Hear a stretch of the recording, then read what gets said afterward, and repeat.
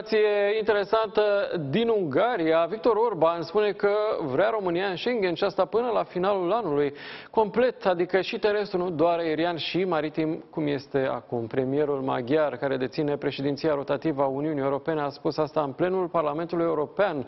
El a declarat că Europa trebuie să se schimbe și că singura soluție pentru a stăvili imigrația ilegală este crearea unor puncte de tranzit în afara UE.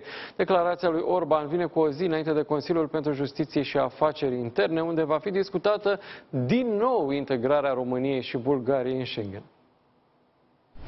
Uniunea Europeană trebuie să se schimbe și vreau să vă conving de asta. Există multe, multe amenințări și riscuri. Riscuri ca zona Schengen să se destrame. Președinția ungară nu propune doar doamnă președinte, să consolidăm zona Schengen și să o extindem. Președinția ungară propune de asemenea ca până la sfârșitul anului Bulgaria și România să fie membre de pline ale zonei Schengen. Trebuie să protejăm frontierele externe ale Uniunii Europene.